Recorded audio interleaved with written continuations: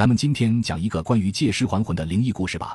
作者托尼的节拍于二零一四年发布于天涯社区莲蓬鬼话板块。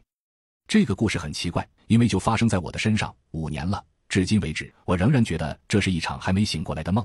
现在的家人曾经将我送去第三人民医院，我被鉴定为精神分裂症。其实我在五年前就已经死了。我的前身是住在广东北部的一个城市，我那边也有家人。我的前身生长在一个非常平凡的家庭。我有一个妹妹，还有一个哥哥。我记得我是死于一次交通意外事故，而醒来之后，我发现我不认识身边的人了。那些人都自称是我的父母、叔伯、兄弟。醒来之后的三个月，我的头脑是完全空白的，就是我前身的记忆一点都记不起来。我只是很漠然地望着眼前这班人，我甚至一度失去了语言能力。总之，现在回想起来，一切就像是一场梦。现在的工作是比较忙的，所以比较难抽时间在网上写东西。因为重生的我，世界观、人生观、价值观都已经改变。看到少少人的回复，我也愿意继续分享下去。也许有人说我是个逗逼，在这里乱说一通，但是只有我才真正知道，借尸还魂的的确确发生在了我的身上。在我醒来的那三个月，头脑一直很模糊，意识很迷乱，就是不知道为什么我会在这个地方，好像我是沉睡了很久而突然苏醒过来的样子。而过了好几天，我在床上睡醒了，突然觉得肚子不舒服，想去卫生间。刚好那时候家人去给我买午饭了，但是我又发现自己说不了话，很奇怪的感觉。因为后来我知道自己的嗓子没有任何问题，而且我能听到别人说话。但是护士好像明白了我的想法，在护士的帮助下，我进到卫生间，看到了镜子里面的自己。这时候才令我大吃一惊，因为眼前的这个人很陌生，总好像在潜意识中认为镜子里面的那个人不是我。但是我又想不起我之前的样子到底是怎么样的。我不知道有没有人有过这种感觉，真的很奇怪。当你身边出现一大堆你不认识的人，说是你的亲人，或者你看着镜子里面的人不是你自己，你到底有什么想法？当我的父母买好饭回来之后，发现我能够走动了，慌忙过来搀扶着我，因为那段时间我的头还是很晕。总之，那三个月就像一场梦。在那段时间，具体发生了什么，我也很难回忆了。据我现在的亲人说，我是醒来三个月左右才开始说话的，而我的记忆当中是突然有一天我在医院，我觉得自己脑子不是很晕了，而且可以出声说话了。我说的第一句话就是我是谁，当时身边的亲人都哭了，我只听到一个女的哭着说：“儿子呀，你叫阿晓。”当然，这是我的化名。然而，我有一种感觉，好像我也真的是叫阿晓，而且我逐渐开始觉得身边的那些人都好像见过。按照我现在的理解，就是我的灵魂进入到了这个阿晓的身体，而阿晓的大脑和他的所有物理器官都保留着对他自己生活的记忆。但是我又绝对可以肯定，我不是阿晓。这种觉得自己好像是一个人，又觉得自己好像是另外一个人的感觉，你们无法想象。而且那时候我还以为自己真的是精神分裂了。现在介绍一下我目前的一些基本身份信息：我现在的名字是阿晓，现年二十八岁。我现在的身份证显示我是八八年四月份出生的，这个年份是真实的，名字是假的。我现在在广东西部的某个城市生活着。对于现在的我是怎样进入医院的，想必大家肯定有一个悬念。现在就告诉大家，我进入这家医院。源于一次工作事故。五年前，我是一名发型师，在站上二层的顶部挂优惠横幅的时候，不小心掉了下来。据说那个地方的真实高度有五点四米多，而且我是头先坠地，后来我就不省人事了。据我的亲戚朋友说，我被送到医院抢救时，出现过两次心脏停止跳动，医生那时候已经给我下达了病危通知书了。可是最后护士走出来对我的家人说，我的脉搏又回来了，之后就是生命体征逐渐稳定。但是也是处于一种重度昏迷的状态，这种状态一直持续了五十一天，这些都是我现在的家人亲戚告诉我的。据说我爸妈那时候都哭晕了过去。我现在的家庭比较富有，老爸是商人，批发服装之类的，拥有自己的公司；妈妈是某家酒店的会计主管。我还有一个大我十岁的姐姐，已经出嫁。我经历过了五十一天的重度昏迷，还有三个月在医院的疗养，我终于可以回到我的家了。虽然说能走动了，但是需要别人的搀扶。我家没有升降机。所以我是被我老爸的司机背着上去的。然而进到家里一看，我有种很奇怪的感觉。我的感觉就是我从来没有到过这里，但是这里却给我一种似曾相识的感觉，非常奇怪。家里的每一处我都感到自己没有见过，但是见到了却是有一种熟悉的感觉。但是我可以肯定这个地方不是我的家，可是我也没有办法想起我之前的家在哪里。各位知道失忆是一种怎样的味道吗？就是你很努力的去回想某件事情，你想不到。那么这几天你都会在想，你会一个人静静的坐在椅子上、床上、阳台上、公园里的石凳上面，一直想，一直想，但你就是没办法找到答案。渐渐的又过了两个月，我不用别人的搀扶，不用拐杖的帮忙，我已经可以走路了。这个时候最开心的就是现在的爸妈。而这个时候，一件更加奇怪的事情发生了。我突然想到，现在在我面前的老爸曾经受过一次意外伤害，要用拐杖搀扶行走过。突然想到这个情景，我立马开口和老爸说：“老爸，你之前是不是也受过伤，用过拐杖吧？”老爸嗯了一声，说：“是的，那是你六岁的时候，那时候我还是在玻璃厂当工人，被玻璃划落伤了脚筋，你还记得呀？”对于老爸老妈来说，这个是最正常不过的事情了。可是看到这里，大家应该都觉得奇怪吧？既然我是借尸还魂，我怎么还会有这些印象呢？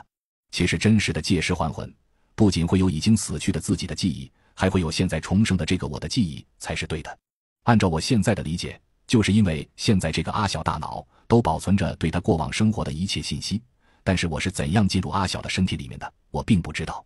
是否是因为我们之间的大脑脑电波频率非常接近，又或者是死去的我和现在这个阿小有什么关联，所以我才能够进入这个阿小的身体呢？要知道，我们居住的这个地球都是充满磁场的，而我们人类的大脑都存在着生物脑电波。那种我们看不见摸不着，但是却确确实实存在着的一种物质。可是那个时候，我还没有想起任何有关死去的那个我的信息。直到一年之后，我去湖南，路过广东北部的那个城市，我才找回了前生的回忆。这个我会在接下来的叙述中告诉大家。由于在重度昏迷的那些日子，每天的营养都靠打点滴，所以据说原本一百六十多斤的我，瘦到了八十五斤，而我的身高有一米七六。那时候我看起来就像一条竹竿，可以说。如果走在街上，风大点，真的会被吹倒。伤心的父母在我回家疗养这段期间，基本上每天给我炖鸽子汤，喂我燕窝等滋补的食品，还有中成药，还给我请了两个月的推拿师傅，帮我按摩全身的穴位，说是可以加快运行我全身的气血。在几个月的调养当中，我基本上就是吃饱就睡，睡醒了父母就带我出去公园散步，然后饿了回家吃晚饭，继续睡觉。所以我的体重在几个月的疗养中飙升回到一百五十多，可能是由于缺乏锻炼。所以身体属于那种虚胖。父母说我看起来比之前一百六十多斤的我还要大个子，而且在家人悉心的照顾下，我的身体状况很快得到改善。很快我就可以不用别人搀扶，自己走楼梯回家，走路也不会一拐一拐的了。之所以走路拐，医生说是脑震荡影响了大脑某块区域导致。可是连医生也想不到我会康复的那么快。提一下，在苏醒之后，在医院度过了三个月之后，我逐渐发现我身边那些自称认识我的人。在我脑海里面，似乎都能找到一点影子，也就是说，我好像见过他们，但是又不认识他们，完全是一种似曾相识的感觉。关于似曾相识，不知道大家有没有试过？某天你走过某个地方，或者你正在经历某个情景，在红灯区过马路，不经意在街角抬头看看午后湛蓝的天空，看到某个人，或者自己正在做之前从没有做过的事情，但是你可以百分百确定，这些情景你之前绝对没有发生过或者做过。但是问题是，你却发现自己好像经历过或者做过这些事情，而我在家康复的这段时间，我基本上每天都是处于这种似曾相识的状态，这样令我很迷惑。因为从我苏醒开始，我一直认为现在的我不是我，直到现在，我认为我其实就是我。我认为现在的我不是自己，只不过是因为大脑坠地伤害过度而造成的。其实所有的一切都是我自己个体所体验的感觉，所以自己会认为是借尸还魂。而且我那时候想不起关于生前那个我的任何信息，我把我的感觉和迷惑告诉了父母。父母带我去复诊的时候，也向医生说了这些情况，说我有时候觉得现在的自己不是本人，觉得周围的人和事物都是陌生的，但是又好像经历过一样。当然，千篇一律，在正规医院的绝大部分医生都是绝对的唯物主义者，那种所谓的借尸还魂，在他们眼中不过是迷信，有些甚至是某些患者凭空捏造出来的东西。为的就是弥补他们在现实生活中情感上的某种缺失。医生在详细检查了一遍我的眼瞳和脉搏之后说，没什么太大的问题，身体康复都很好。你现在所出现的症状也许会令你迷惑，但是在严重脑震荡患者后遗症里面，都有很多类似你这样的情况出现。大多数随着时间的推移，你的感知会逐步恢复正常。只要按规定的时间过来复诊和按时吃药，你会没事的。在旁边的父母显然再次松了一口气。关于为什么我不回死去的那个我的家看看，我会在接下来讲到。既然知道自己是借尸还魂，回去是必定的。但是我上面已经讲了，我从医院苏醒过来，我只是觉得我不认识眼前的家人，确定我不是我。但是我对过世的那个我一点也回忆不起来。我上面也说到，我只是整天在想我到底是谁，但是没有任何头绪。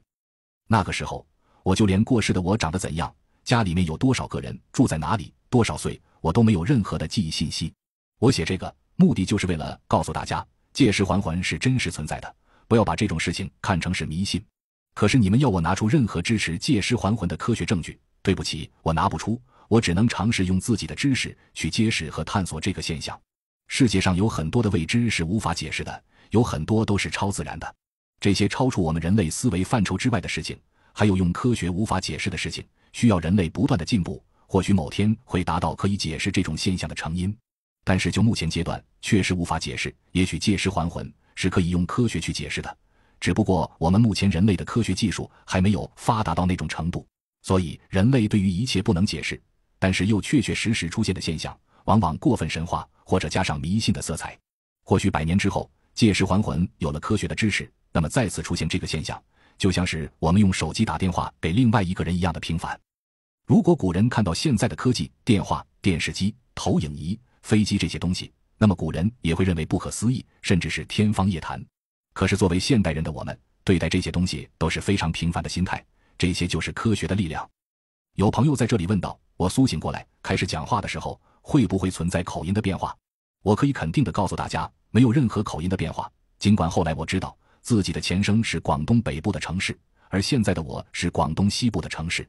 尽管都是广东，但是我知道这两个地区的口音存在很大的差异。可是我说的就是广东西部某个城市的正宗口音。但是这里面有个小插曲，也是我上面提过的。我有大概三个月时间失去了语言能力，但是那段时间我可以听到父母和亲人的对话。也明白他们在说什么，但是自己就是说不了话。不知道那时候是不是我在适应我现在这个新的身体和新的大脑，我的灵魂波段频率还不能完全接受新的大脑所致，被现在我的身体排斥。又或者是我觉得大家都是陌生人，认为我不是我的这种思想，是因为自己脑震荡所导致的失忆。又或者我听了这几个月这个城市的口音，再加上我现在新的大脑保存着阿晓这个人的记忆信息，所以我说出来的口音完全没有变化。这个问题。我直到现在都不能解释，我的口音没有变化，可是我的性格却震惊了我的家人。生你养你的父母最清楚的就是自己的儿女，父母觉得我的性格稳定了很多。他们说我以前喜欢夜不归家，喜欢和我那些理发店的员工去 KTV 娱乐，不会和父母有太多的交流。总结起来就是性格外向，但是有点暴躁。而出院后，我是无论父母去哪里，我都会问一声：过马路要小心，小心看车。外面太阳很晒，记得戴帽；灰尘很大，记得戴个口罩。这些唠唠叨叨的话语，在我这个被父母认为稍微带着点叛逆的我身上说出来，父母当然觉得震惊。后来父母直接认为是因为我经历了这样的悲剧，从而导致我成长了不少。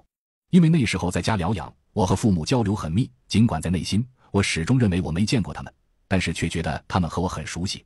当然，我把这些也告诉了父母。父母咨询过脑科医生，诊断为暂时性失忆。对于我的失忆，我的父母还是很悲痛的。可是他们也逐渐发现，他们的儿子无论从性格还是行为都改变了，而且还是向好的一面发展，这让他们舒心了不少。从重度昏迷到失忆，到疗养，到身体恢复得七七八八的时候，我向父母提出，我是时候开始工作了。我这个想法提出，首先是我母亲开始责怪我，说我身体还没痊愈就想着去工作。其实他是害怕我又回到那些猪朋狗友的身边，变回那个令他们心痛的儿子。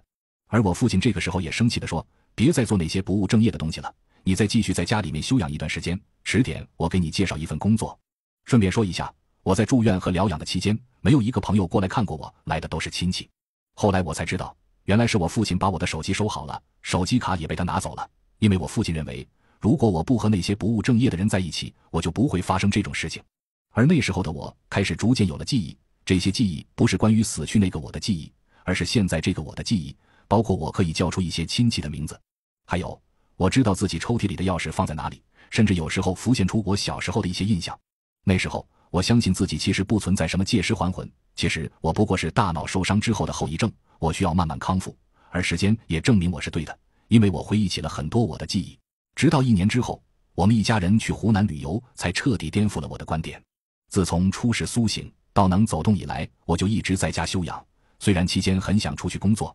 但是我就是说服不了父母，父母说我还没有完全康复，最起码让我后脑那个坑长出头发，再去工作也不迟。从那次出事以来，我脑后有个地方就已经长不出头发来了，幸好那个坑不是很大，而且我后脑的头发留长了点，也刚好遮盖住那个地方。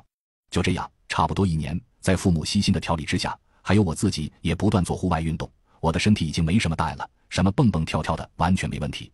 只不过就是吃了一年西药，感到自己出虚汗很多而已。因为从我出事以来那段时间，全家都感到精神很压抑，完全没有一刻放松过。爸爸提议来一个家庭自驾游，好好的放松一下我们的身心。而且爸爸早已经把旅游路线完全规划好了，就是一直北上，一直到湖南那边，顺便也去看一下我姐姐还有姐夫。姐姐嫁去湖南已经七年了，在我出事那段时间，姐姐和姐夫过来这边看我。后来姐夫因为家里经营的蛇场出了点小状况，一个月之后走了，而姐姐却等到我能够开口说话，看到我没太大问题才回家的。更重要的是，姐姐的第二个孩子已经出生了三个星期了。我和父母就是借着这个旅游的机会，顺便去探望一下姐姐和那个新出生的孩子。自驾游就是这样开始了。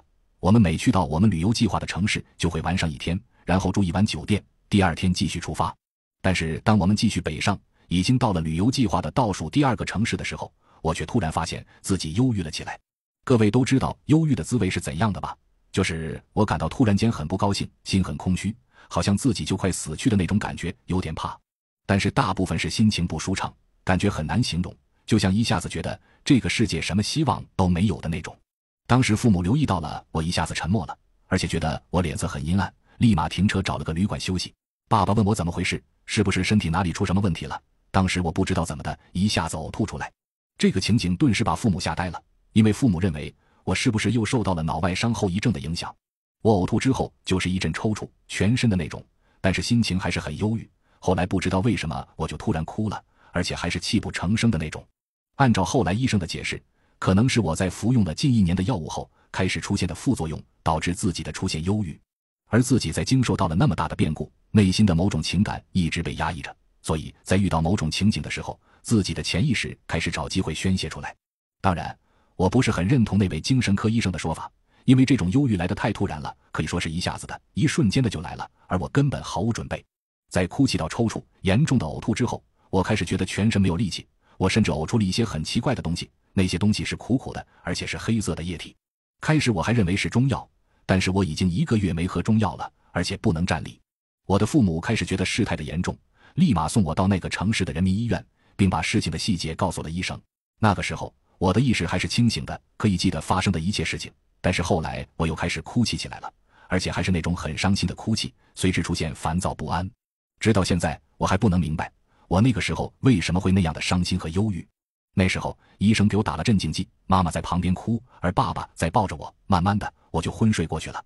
昏睡过后，我醒来说的第一句话，就当场吓呆了身边的人，包括我姐姐、姐夫也过来了。我问他们都是谁，我不认识在场的所有人。我记得我当时醒来的时候，确实是不认识他们。我还说了自己是哪个地方的，哪个城市，哪条街，多少号，我都说了出来。那时候的自己就是拼命的想离开这个地方，因为当一个人被一群不认识的人围着。而且他们还对着你哭，你会感到很害怕。特别是自己记得过世的那个自己记忆的时候，现在回想起来也很怪。之所以一开口问他们是谁，是因为我在昏睡的过程中，像是经历了另外一种人生，我像是去到了另外一个世界，那个世界有我自己的家人。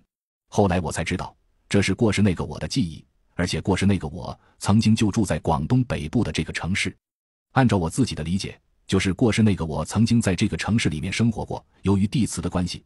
过是那个我的思维记忆被地磁强烈的保留了下来，就像录音机磁条那样记录了声音。我之所以这样推测，是因为自己曾经读过，在南美有个森林，每次打雷都会出现很多人拿着武器战斗的声音。而科学家对此的解释就是强烈的地磁记录了那些死亡的灵魂。所以，我现在的解释就是，我爸爸开车应该是经过了我死过的现场，因为地磁保留着我的灵魂。那个我和现在这个我本来脑电波频率就很一致。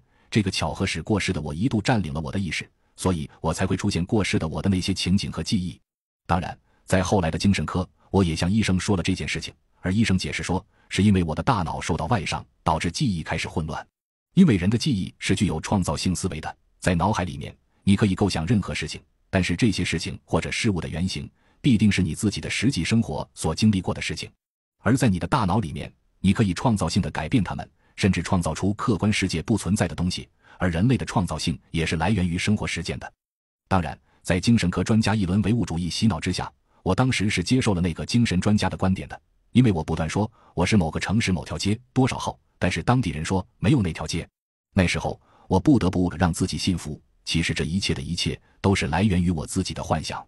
在觉得周围人都很陌生的情况之下，那个时候我是立马拔开针管向外跑。那时候就是我的爸爸还有医生拦着我，因为那时候我大喊大叫。其实那时候我感到心里很害怕，因为根本不知道发生了什么事儿。